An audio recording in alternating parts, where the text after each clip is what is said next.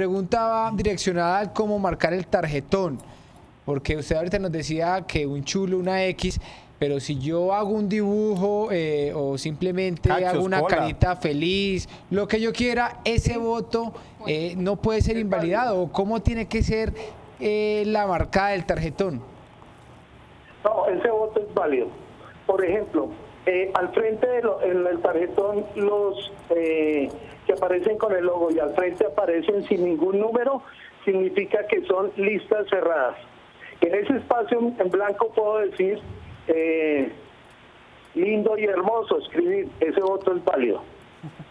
¿Qué, Válido para ese partido. qué partidos tienen listas cerradas en estas elecciones? Bueno, hay varios partidos que tienen listas cerradas, pero no tengo que quitar tarjetón porque salen precisamente hoy, en la tarde ya los oficiales.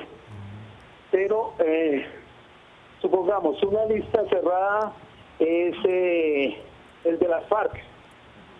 Entonces ahí tiene las FARC y al frente está libre porque no tiene números.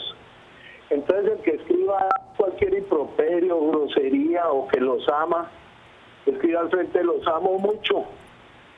Otro escribe violadores. El que escriba ¿Cómo violadores cuenta como voto. Se cuenta como un voto válido para ellos, perfectamente. Eh, doctor, Porque la ley no dice que tiene que ser con una X, un círculo, etcétera. Inclusive encima de los números puedo colocar cualquier frase o puedo escribir una X completa que me abarque todos los números y ese voto es válido para ese partido.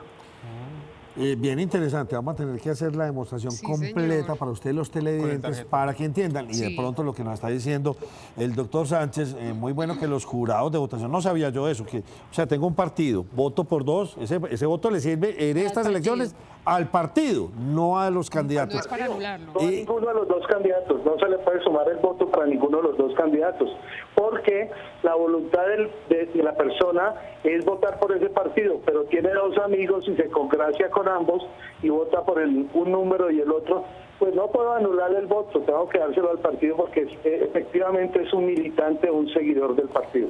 Eh, doctor, me hace, simpatizante del partido.